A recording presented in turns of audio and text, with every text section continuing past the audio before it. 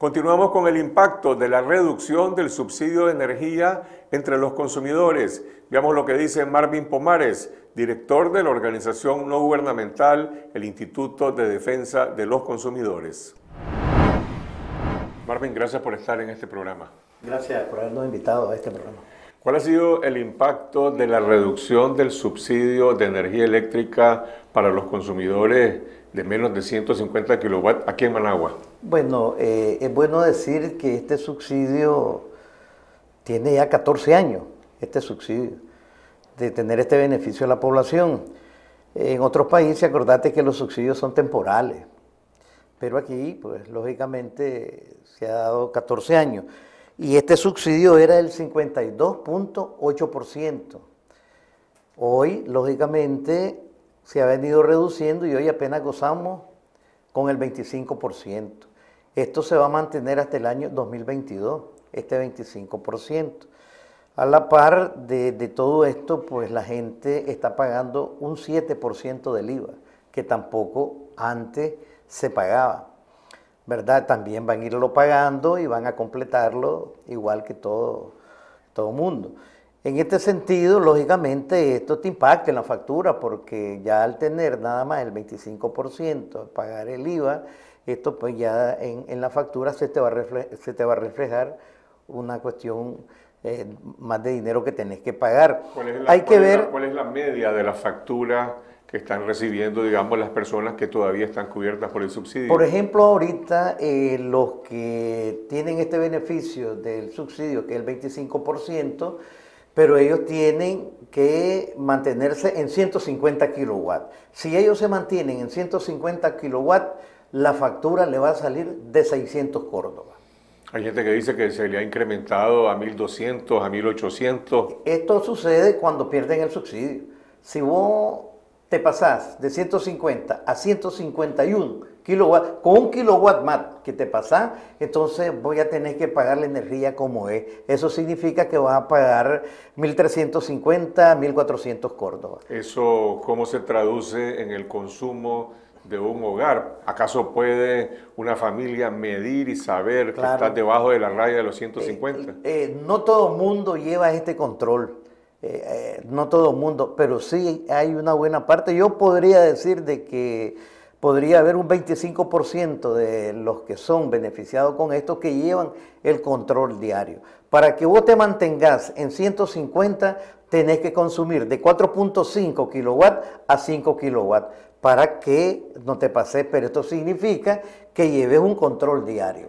¿Me entendés? Vos llevas el control. Si este día vos te pasaste a 6 kilowatts, el día de mañana tenés que consumir 4 cerrados para mantenerte el rango de 150 kilowatts. ¿Cuántos reclamos de los consumidores están acogiendo, recibiendo ustedes en el Instituto de Defensa de los Consumidores mensualmente?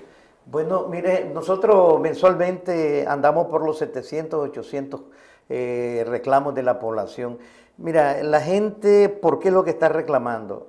Alta facturación. De un mes a otro mes se te sale la factura alterada. Hay un histórico que te sale en la misma factura, hay un histórico que, que uno viene pagando, pero de un mes a otro vos pagabas 400 o 500 Córdoba y de repente el próximo mes te dice 2.500. La gente realmente siente un golpe duro, pues. El golpe duro, ¿por qué? Porque ya iba a pagar como tres veces lo, lo, que pagaba. En este mes de febrero han aumentado los reclamos de la gente que está acudiendo a ustedes. Sí, bueno, nosotros hemos recibido, por ejemplo, en mes y medio, hablando de enero y hasta el 15 de febrero, 1.425 casos. Prácticamente llevamos 250 casos comparado al año pasado de más. ¿Me entiendes? Entonces quiere decir que la gente está reclamando más por la cuestión de la energía. ¿Dónde está focalizado el reclamo? En, eh, en, distintos municipios de Managua, fuera de Managua. Eh, no, pero yo te quería decir antes de eso, primero, de que la gente reclama por la alta facturación, pero también reclama por una mala atención en algunos lugares. ¿A dónde está focalizado? Digamos que la gente está reclamando más tenés Masaya y tenés Granada. Son dos lugares que no hay mucha solución. Hay veces los funcionarios que tienen norte y sur en este, en este sector de ahí, Granada y Masaya, lógicamente hay veces creen que eh, como que ellos son los dueños y no dan solución. Porque muchos de los casos de Masaya y Granada nosotros los hemos traído a la sede central de Managua, de Norte y Sur, y nos dan respuesta a nosotros. Cuando vamos y traemos esos casos, y son casos que la población tiene razón, ¿me entendés? La población, y hemos llegado a eso y ganamos esos casos, pero aquí en Managua. ¿Por qué no se puede hacer en Masaya? ¿Por qué no se puede hacer en Granada? Hay veces, hay muchos funcionarios que tienen norte y sur que la verdad es que son bastante prepotentes. Pues en, cuando... en estos reclamos que están recibiendo, ¿se ha incrementado, eh, digamos, la demanda de jubilados que han perdido beneficios que anteriormente estaban cubiertos por la ley? Lo que pasa es que los jubilados no se les ha tocado. Los jubilados se mantienen con todo el beneficio no se les ha tocado ni un kilowatt. Todos los jubilados se mantienen con el 50% a como lo establece la ley. Siempre que estén debajo de los 150. Es correcto. Por encima de 150 hay disminución. Si ellos se mantienen en los 150, son beneficiados con el subsidio, ya que no se les ha tocado para nada, pues son los únicos. Ni en el IVA se les ha aumentado nada de IVA. Ellos se mantienen a como desde hace 15, 14 años, pues ellos se mantienen igual con ese 50%. Ahora, la población que consume, las familias que consumen más de 150, están reclamando el año pasado un incremento como de 20% en la tarifa y este año sigue aumentando. Fue el, yo tengo entendido que fue el 18.5%, el, el aumento del año, del año pasado, ¿verdad? Y que realmente, lógicamente, pues que cualquier aumento a cualquier tarifa, eso te golpea porque es una cuestión lógica, pues te va a salir más dinero en la factura, pues lógico. Sin embargo, lo que la gente está reclamando más es cuando vos solicitas que te hagan una inspección, que no es eso lo que vos estás gastando. O sea, ellos dicen, yo hago ahorro de energía, pero sin embargo en la factura no se me refleja. Hago ahorro y me sale más. ¿Cómo es eso? ¿Me entiendes? Entonces, ellos eso es lo que reclaman, que le vayan a hacer una inspección para que vean que realmente no están gastando lo que ellos dicen. El problema es que cuando te hacen la inspección, vos podés tener tres, cuatro televisores en tu hogar, pero el que utilizas es uno. ¿Cuál es el canal del reclamo? Norte y de Sur está abierto a la población, rinde cuenta, la gente va al Instituto Nicaragüense de Energía, va a ustedes, va al MIFIC. ¿Cuál es el canal efectivo?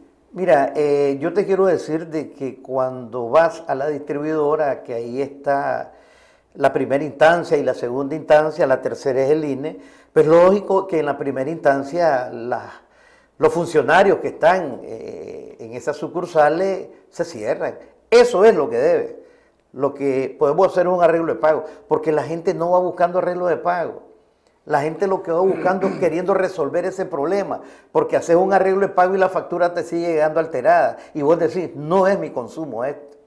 Entonces, cuando ya no hay resolución ni en la primera instancia ni en la segunda instancia, pasas directamente a INE y INE tiene un tiempo pues, para darte una resolución.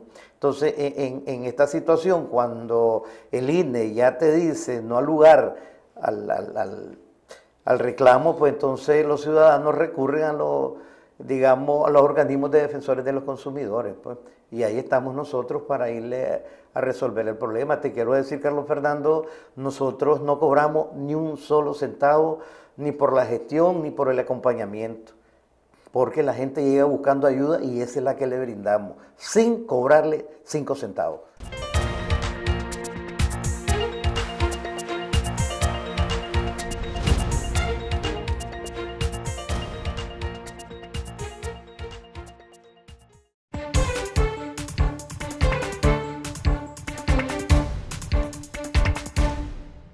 Gracias por ver este video producido por Esta Noche. Los invito a compartir nuestro contenido en las redes sociales y a suscribirse a nuestro canal para apoyar el periodismo independiente en Nicaragua.